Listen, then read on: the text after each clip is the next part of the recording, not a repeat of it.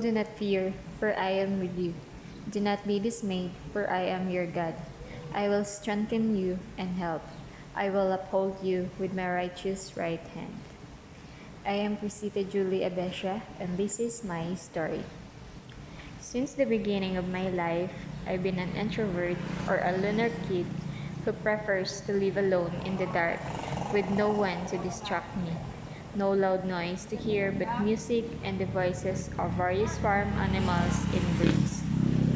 I used to live like way until I graduated from high school.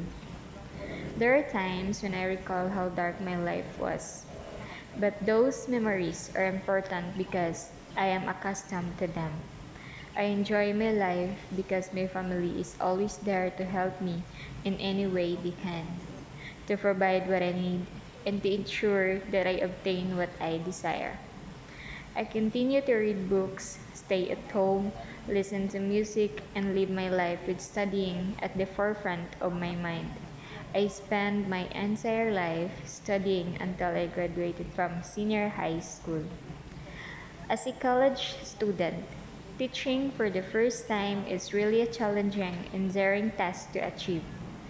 It requires a lot of guts and efforts just to achieve the confidence and readiness and taking the first step in doing the actual teaching learning process. I was driven by faith and focus because I was finally able to pursue my dreams. My ambition was to become a doctor one day. But to, due to a shortage of slots, I decided to pursue education instead. It's difficult to stick with a course that I dislike, and so I look for things that can motivate me to pursue education.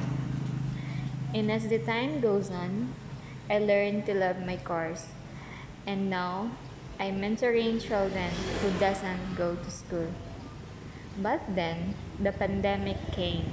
It destroys more the life of people change the flow of students' life, and most of all, the model of learnings, from the actual classes to online classes. I was so discouraged. I lived my life with full of disappointments and experienced depression until I realized that it should not be happening.